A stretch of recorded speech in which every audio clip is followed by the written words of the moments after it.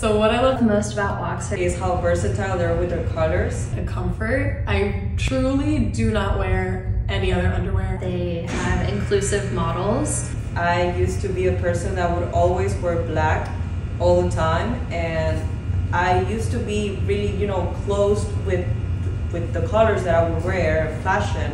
And Woxer, believe it or not, has made me be a person that wears more colors. Because, for example, this purple, I think it looks wonderful. But before, if you tell 15 year old Michaela to wear something purple, I'll be like, heck no.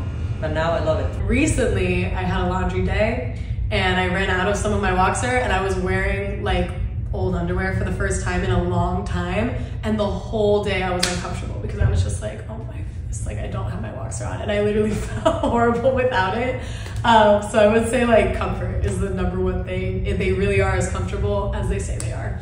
I love seeing someone who looks like me on the website and when I show myself to other people on the website they're so proud that I'm getting to represent curvy unedited models so it's not you know, super BBL or super skinny models, they see tattoos, they see stretch marks, they see cellulite, and it's something I really resonate and I actually haven't ever seen on a clothing website before.